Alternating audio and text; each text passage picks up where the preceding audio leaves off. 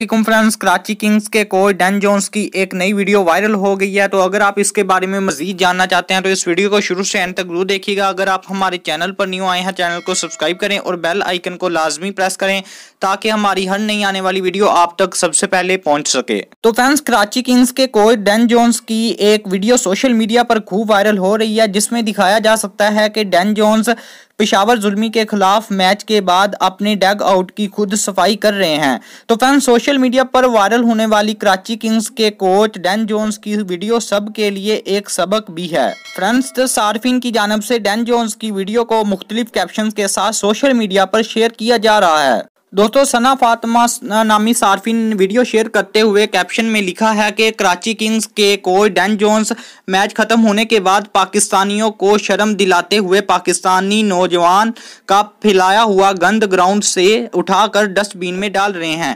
اس کو شرم آ گئی، لیکن پاکستانیوں کو شرم نہیں آئی۔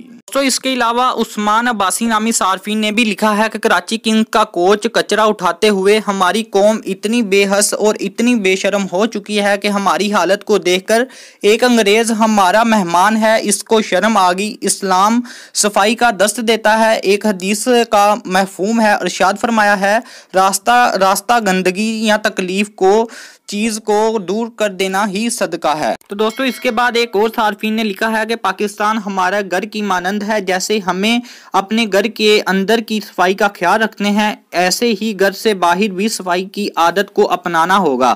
کراچی کنگز کے head coach Dean Jones stadium سے کچرا اٹھاتے ہوئے پاکستانیوں، ان مہمانوں سے کچھ سیکھو، اپنے ملک کو صاف رکھو۔ تو دوستو، ڈین جونز کے حوالے سے آپ کی کیا رائے ہے؟ آپ کومنٹ سیکشن میں ہمیں لازمی بتائیں۔ اگر آپ ہماری چینل پر نیو آئے ہیں تو چینل کو سبسکرائب کریں اور بیل آئیکن کو پریس کریں تاکہ آپ کو ایسی اور کرکٹ کے ریلیٹڈ نئی اپڈیٹ ملتی رہے۔ تو اسی کے ساتھ مجھے اجازت دیجیے گا، اپنا بہت زیادہ خیال رکھیے گا۔ اللہ حافظ۔